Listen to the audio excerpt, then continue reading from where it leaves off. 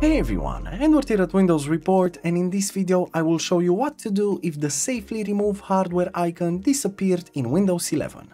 So the first solution that you should always take in consideration is to create a safely remove hardware shortcut. To do this, press the Windows plus R key combo to open a new run window and then make sure to copy paste the following command that I posted in the description below. Now simply press on OK and as you can see this will open the safely remove hardware dialog and from this dialog you can select the device you want to remove and remove it by clicking on the stop button.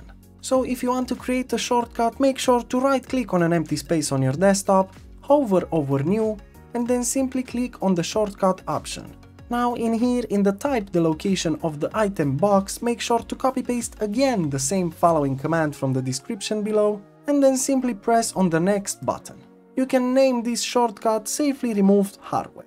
Now just press on finish and as you can see the icon is now on your desktop. Now if you double click on it you will see the same list as previously. In here you can stop any hardware that you want to disconnect. Moving on, another useful solution is to simply change your notification settings. First of all, make sure to connect some hardware to your PC, like a USB stick. Now simply click on the arrow in the bottom right to expand the systray section then locate the safely remove hardware icon and simply drag it to your taskbar. And as you can see, the icon should now be pinned to your taskbar and visible whenever you insert a removable media.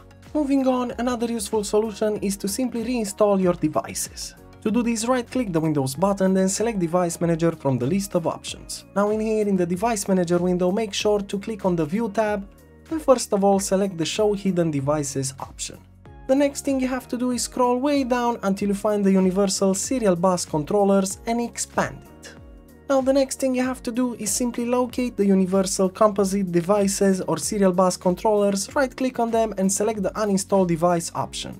Confirm again by pressing on uninstall. Keep in mind that you might have to uninstall all devices in this section before you can fix the problem. So make sure to close this window afterwards, restart your computer, and you'll see that all the devices will be automatically reinstalled. You can then check if the problem still persists. Moving on, another useful solution is to simply restart Windows Explorer.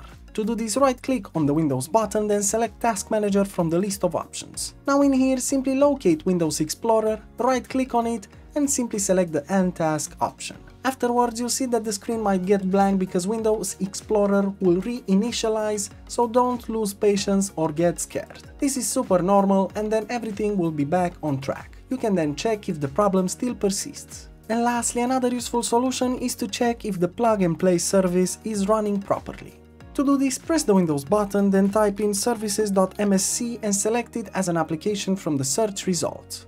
Now in here, scroll down until you find the plug and play service, then make sure to double click on it to open its properties window. Now you should just check the service status. If it's not running, make sure to click on the start button to start the service. In the same time, some users are also suggesting to change the startup type from manual to automatic. You can then press on apply and OK to save the changes. However, as an alternative, we highly recommend you to try out Restoro, which is an app that specializes in scanning and repairing any issues with your Windows operating system faster than you think. At the same time, Restoro also repairs damage caused by malware, which is a great plus in functionality. So make sure to check out the link in the description below. And that's it, plenty of solutions to consider.